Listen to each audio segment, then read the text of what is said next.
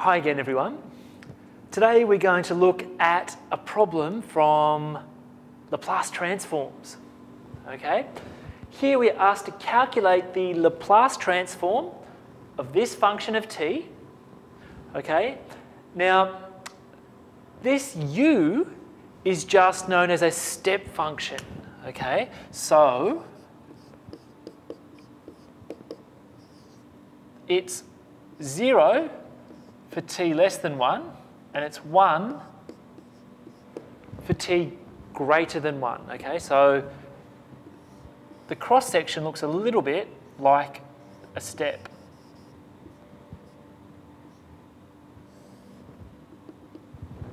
All right, so here's a little graph. It's known as the unit step function or the Heaviside function. Okay, so just let's remind ourselves what is the Laplace transform of a function of t? Well,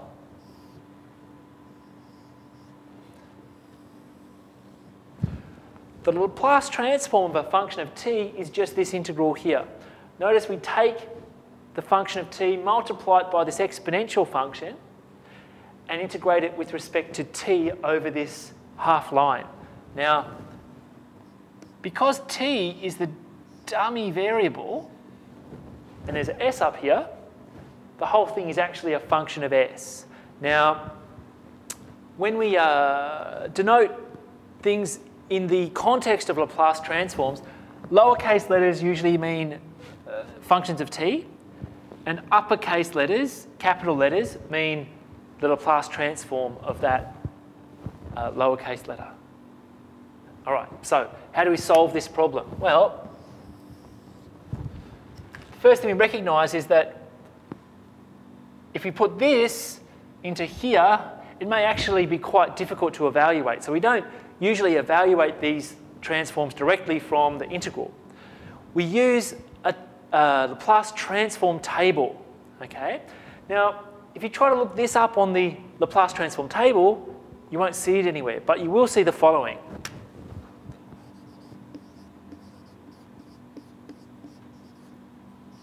We're going to apply the second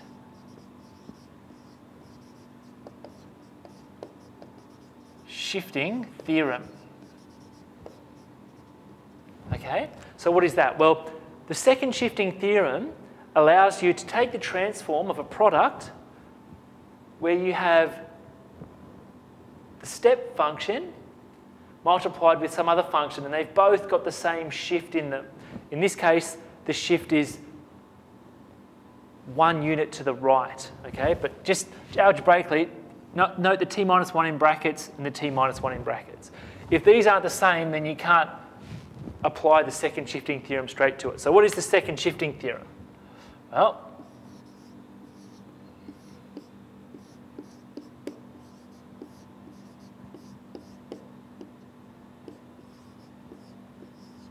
The Laplace transform of these of this product is just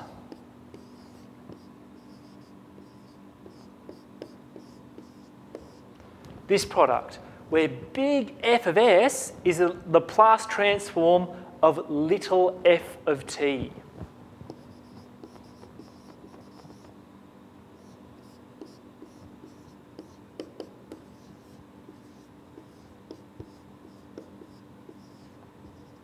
Okay? So here we have f of t minus a, and here we have f of t. So the first thing we do is uh, compare with our original uh, problem, find out what a is and what f of t minus a is. So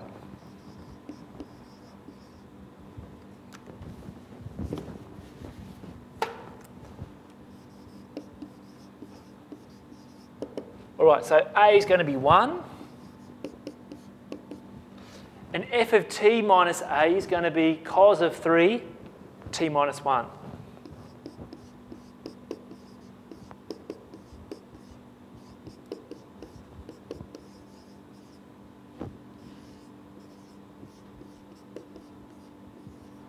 All right, so if f of t minus 1 is this, what's, uh, little f of t minus 1 is this, what's little f of t? Well, we replace t minus 1 in brackets with just t, okay?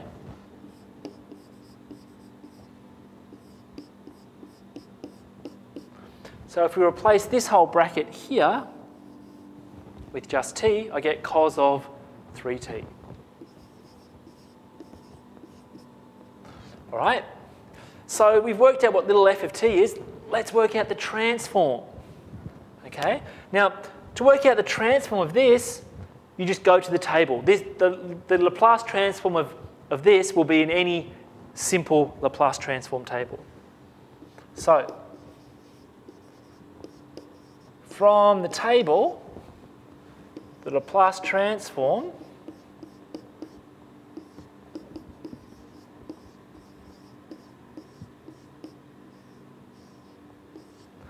the Laplace transform of cos 3t is s all over s squared plus 3 squared. Okay? So what do we do with that? We've got the Laplace transform of little f of t now. That's just big F of s. Okay, so we recognize that that's actually the thing we're looking for. All right? So now we, we take this, put it in here, and multiply by e to the minus as. So the second shifting theorem gives the following. The Laplace transform of this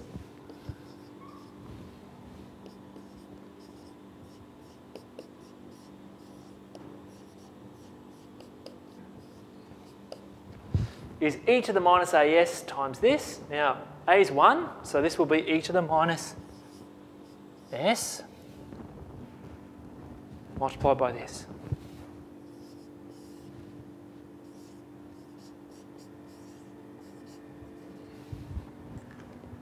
Okay, so that's your Laplace transform down here of this. Now, why, why are we interested in Laplace transforms?